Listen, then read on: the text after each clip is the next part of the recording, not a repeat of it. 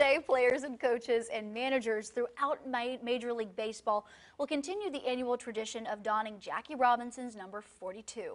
Today marks 75 years since Jackie Robinson broke the baseball color barrier. He played his first game in the 1947 era with the Brooklyn Dodgers. But unlike previous years of celebrating this special day, all 42s that are won around the game will be colored Dodger blue, regardless of the team's primary color. Jackie Robinson Day has been a traditional event in Major League Baseball since 2004.